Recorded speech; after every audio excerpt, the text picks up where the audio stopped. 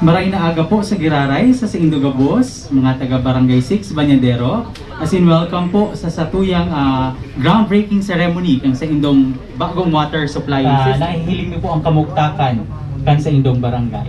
Ah, para magtaupo kan sa iyang mensahe, apudanta po ang pamayo kan sa Indong Barangay. Ang ginagalangan ta, punong barangay Arthur Marco.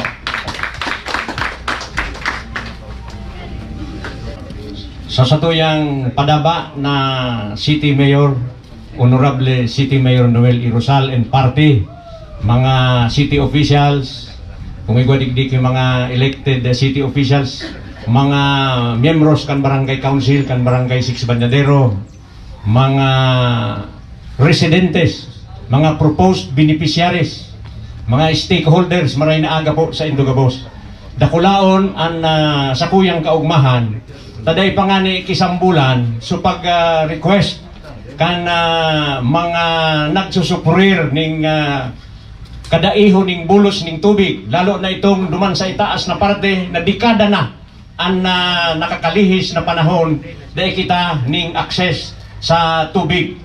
So, dahil kan na partnership, ha, kan na mga barangay officials, kan na city officials sa pangingenot ni Mayor Noel Irusal, so sa tuyang pangaturugan, igwa na po, sabi ni Kagawad Dio, baka ngayon maaprubahan. Aprobado na nga ni, dahil ang groundbreaking marks the start ah, of uh, the implementation of the project. So dahil ko na po pagpaparahaluyon, parakpakan na po si Mayor Noel Irusal asin pag-iriba. Thank you very much. Salamat ka. Para tawan po kita ki eksplanasyon kung ano ining proyekto nagigibuhon sa indong barangay. As in, para magtauman po kan sa iyang mensahe. Apudanta na po ang sa tuyang ginagalangan na alkalde, Honorable Mayor Noel E. Rosal. Thank you very much. Diyos maray na aga. Para paganda po. Pagkarupormalong kita. Para mainit. Anyway, uh, inot muna sa kuyang pagpasalamat sa City Engineering Team ta headed by si Inong Ibo sa pag-design kaning pump. Magayon po. Para pakantasinda. And siyempre ang sangguniang ang panunsod of Legazpi headed by the Vice Mayor sa pagtaw sa tuya ki resources dito pagligawan. Para pakatabi tabi si Vice asin ang Vice Bobby Cristobal asin ang mga membro kang sangguniang. Dahil lang sila nakadigi dahil may media day kita ngunyan, City Media Day dyan sa Gregorian. And of course, ang Barangay Council sa continuous na pag-follow up na ining tubig na dakulang problema dito sa indong barangay has finally arrived. Ha? Para pakanta po si Cap Arthur Marco.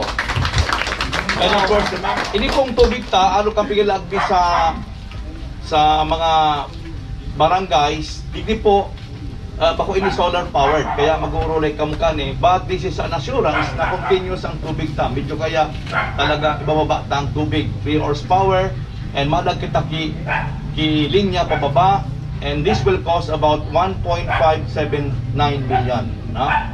Oh parang pakantan sa tuyang sila okay, so this this tank mag magibo po kita kaya nag napamahalin ni ta, dapat mag-stock kita ng tubig yan ang mga suggestion ni Kapitan. They pwedeng pump lang. We need uh, equans, pigaagad talaga doon. Magkakaigwa kita ki, ki, ki, ki, ano ito, ki tank, elevated tank, para by gravity mababa ang tubig sa kada harong. No? Yan ang design kani kaya napamahal kita, hindi, hindi. Pero day bali, ang importante, pag sakat na tubig, this is visible by 3 horsepower pump, pasakat, then pababa ta, i-distribute na sa kada harong. So, this will now be done kung 11 2 o level 3 ang gusto kan sa Indong Council. No? So, malag kita ki 5 dry pipe na para sa gusto magharok, iko kita ki, ki provision for stand pipe na pwede ta pagharokang ki tubig in case may problema kita sa sarong-harong kay abuton kang piapod kang level 3. No? But for the meantime, ay inang pinakamagayon dahil nakakuha kita ki source. Ali man ang inikay sa sendong mga tagadigdi kung sa intang mapakal talaga magkuha kan source. Ilang pinaka-importante na dahil mag-ubas ang satuyang source mismo. Kaya today, I would like again to emphasize na ini, ini mga problema ta lalong-lalo na sa satuyang tubig sa mga barangay, this has been undertaken by the city. No?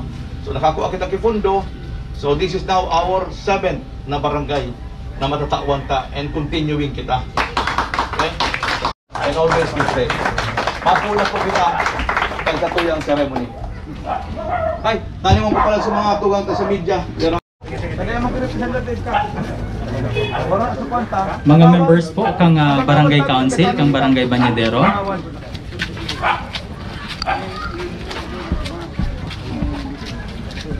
Okay, so ipanta na muna ha. Idubong ta na. Wala nang kukontra ha. Oo. Teka muna. Ako naman. Ako master na yun. Kakap kapin na para sa ikapan. Ako. Yo. Naglan ko pala ko na pero kunya. Labor. Labor ka dati sa mina. Okay, para pa sa sikap. Mga kagawad. Kagawad, sunod. Oh, ano ito? Dito. Wala. Sabay ang mga kagawad. Mga mato. Si... Ayan na, sige.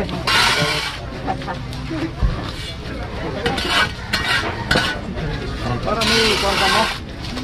Para kasarabay kang pagpagpan. Okay. Para pangataw din. Congratulations, Nabi, sa sa Indo, mga taga barangay Banyadero.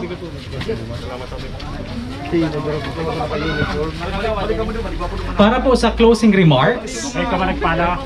apudan ta po ang saro po sa membros kan sa Indong Barangay Council, kagawad RD Marco. Ah, okay. Ah, sa closing remarks po, ah, thank you very much po sa gabus na yaon nigi, especially po sa kay ah, Honorable Mayor Rosal.